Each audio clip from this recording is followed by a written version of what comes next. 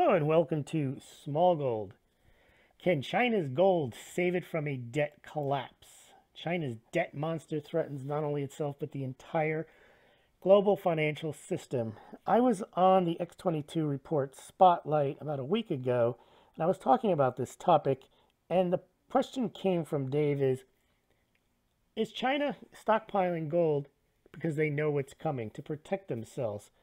And I talked during that interview about the amount of gold that China had and the size of its debt. But what I want to do today is show you some charts to illustrate what I was talking about. Also, at the bottom of the blog post, I'll leave a link to that interview so you can check that out as well. Now, do the Chinese gold reserves provide adequate insurance? Well, Chinese debt to GDP is over 300%. And China's future plans rely on more debt. So we know that ratio is going to go higher. Deleveraging is not really something China can actually do without tossing the country into a severe recession and or depression.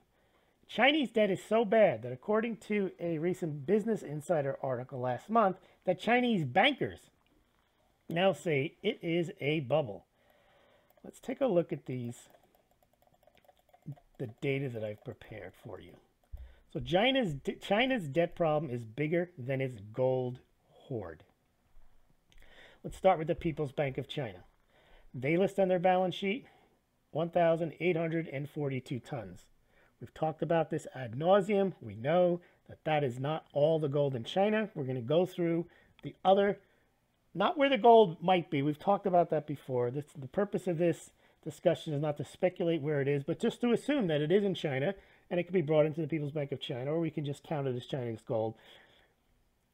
Because the People's Bank of China is where they list the official gold reserves. And then, of course, we know there's other gold and other state-owned banks, sovereign wealth funds, and so on. But the People's Bank of China lists 1,842 tons of gold. That is approximately 60 million or so ounces of gold. Well, the street value of that at uh, 1300 an ounce is a mere $76 billion. So even though China has a very significant gold pile that they officially say they have, it's only worth $76 billion. That's less than a half a month of QE. It's, it's basically nothing in the world scheme of things. I think Bill Gates is worth $80 billion, just to give you an idea. So the People's Bank of China while it may have 1,842 tons and more, we'll get into that, at current prices, that's not much gold. All right. Now, tomorrow we're going to see when I report on the People's Bank of China's gold reserves for September, we'll see a chart that shows the Hong Kong imports. And since 2001, China has imported 9,177 tons of gold. It's about 300 million ounces. Let's assume all that gold that went into China belongs to the government. Didn't go to anyone else other than state-owned banks, People's Bank of China, sovereign wealth funds. Well, that gold has a street value at the current price of about $383 billion. Nice chunk of change, but took them 16 years to get $383 billion. Fed can print that in two months. ECB can print it in three or four months. Chinese mining, which has become the number one gold producer in the world, since 2000 has produced about 5,200 tons. That's about 167 million ounces. That's $217 billion at current street prices. Now, some people say, what about gold that comes in through Shanghai? Well, they don't report on that. They don't report on that for a reason. However, let's just assume that over the past, since they probably started five, six years, and, and this is just a guess, it could be lower, could be higher, could be nothing. We don't know. But let's give it 3,000 tons. That's over one year's annual gold mining production. It's a lot of gold. That's about 100 million ounces, and that's worth 125 billion. So if you add up the 19,000, let's say 20,000 tons of gold that people would suggest. Koos Jansen has done research. A lot of people have done research on it. And this, what I have here, is just my own rudimentary numbers. But it comes out to about what a lot of people say 20,000 tons or so Well, at current prices, that doesn't get you even a trillion dollars. That gets you to about 800 billion dollars. So at current prices, assuming all this gold has found its way into the government's coffers, which the people who have done their their numbers don't give it all to the Chinese government. Let's say that it's all in the Chinese government. At current prices, doesn't cut the mutard. It's only $803 billion. All right, well, let's move the price up. Let's triple the price. Let's get it to uh, four. Let's get it to quadruple. Let's get it to four thousand dollars an ounce. Well, that would make the People's Bank of China's gold hoard 236 billion a month of QE. The Hong Kong imports are pretty significant. That would be a trillion dollars, 1.1. Chinese mining would be about another 668 billion. Shanghai imports another 385 billion. So if gold were to manage to get itself to 4,000 an ounce, you'd be at 2.4 trillion. It's a nice number. It's a good number. Uh, remember the Fed printed $4 trillion during QE. So, and remember, that was to cover the United States issues and some foreign banks. But that was basically to save the United States. Remember, China would need to have a lot more money than 2.4 billion to save itself. Okay, the, the Fed took 4 trillion to save the US. China's much bigger. Well, all right, let's get the gold price up to 10 grand. Now that's a pretty big number. I mean, that's 10 times almost where we are today. And that gets you to 592 billion at the People's Bank of China. Again, not that much.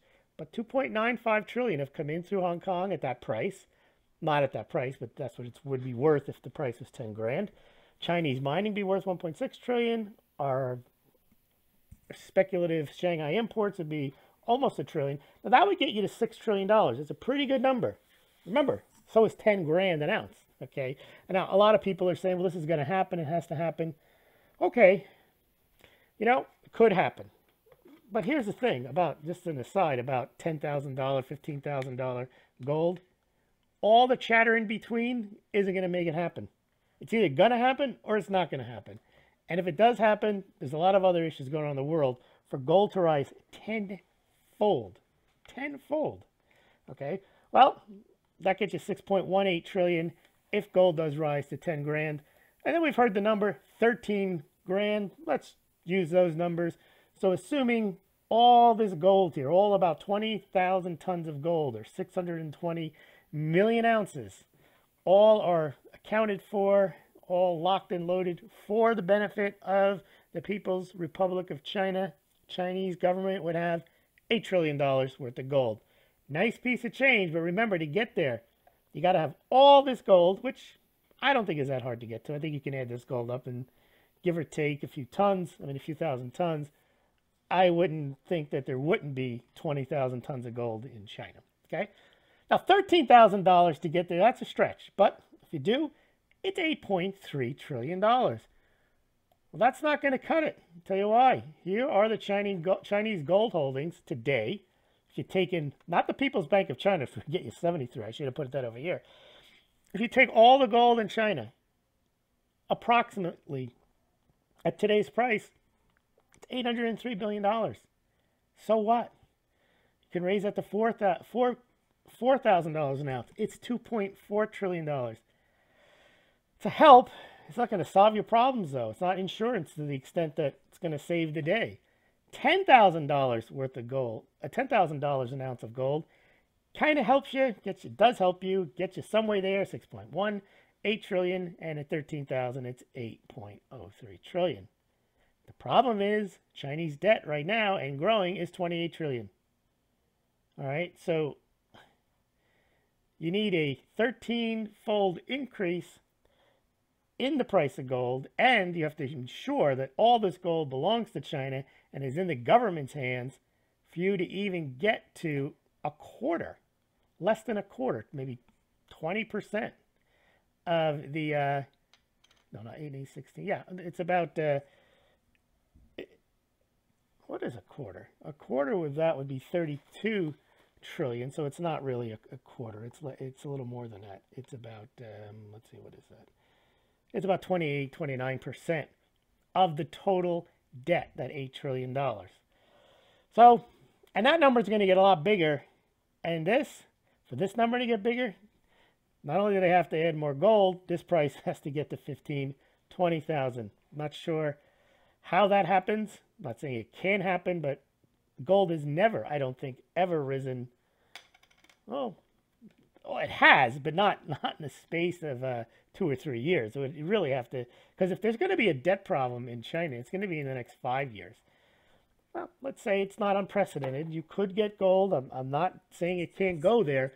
I'm just showing you that even if it does go there, even if you do get a 13-fold increase in price, you really need basically a 13, 26, 36. You need like a 40-fold increase to get close to covering the debt. Well, this is going to be growing all the time. Now, let's take a look at Chinese treasuries. They are already over 1.2 trillion. So they're basically higher. They have more US dollars than all the gold in China at the current 1300 price. And if the price rises to 4,000, they've got two times as much gold as they would have. U.S. Treasuries. Here's a curious chart. This is from Nick Laird. This is the Chinese overall reserves. They had been over $4 trillion. This just shows you how easily a country can blow through a trillion dollars. In less than a year, they went down a trillion dollars. They went from 4 trillion to 3 trillion. Now they're at about 3.1, it's right here, 3.109 trillion dollars. So, you know, if you have $2 trillion worth of gold and you have a debt crisis, this wasn't even during a crisis. This is just China protecting uh, the yuan, you know, selling, selling assets. That's all that is, selling U.S. dollars, selling treasuries. All right, now, just another aside. China, according today, came out, uh, Commerce Minister says China has $6 trillion worth of assets. Now, that, I don't, they don't say what they are, but they're not gold. They're stuff they could be gold mines, they could be properties, they could be industries that they own overseas. But again, when you have a crisis, you can't just sell those assets and uh, raise the capital. So here is the coming up. What we have is China's attempt to internationalize the yuan. That'll be this weekend. And tomorrow we're going to do the People's Bank of China September gold reserves update. There is the link for my interview on the X22 report. And for further reading, go to smaulgld.com and read the Chinese holdings of U.S. Treasury saw. We just saw that. Uh, why China's credit rating was recently downgraded. We're going to talk about, well, we're not going to talk about, you can read about the gold back yuan nonsense story. Now, if you could see, the gold back yuan, that while China wants to internationalize the yuan, they're going to do it gradually. They're not just going to introduce gold into the system because they got enough problems right now. They have to make sure that this debt bubble doesn't burst. They're navigating through central planning. They don't need the shock and jolt to the system that trying to introduce a gold-backed yuan would do and the and the attendant changes it would have on the currency, the potential trade wars they might get into as a result of it. China doesn't need that aggravation, doesn't need that drama. Uh, cashless in China conspiracies, case of China's missing gold. That was an article published in Zero Hedge about three years ago when China first reported its official gold reserves for the first time in six years. Got Shanghai Gold Exchange withdrawals of weekly, monthly archives, and then the monthly Chinese gold reserves. Uh, you can check that out as well. They're, they're there for like the last three or four years. I've been covering gold and silver for about four years now. So there's an extensive archive of information. You can see at the top here of monthly and lots of reporting on gold and silver. If you like this channel, please like the uh, the video you're watching, whether it's on BitChute, on VidMe, or YouTube. Make sure you subscribe to it and also subscribe to smaulgld.com.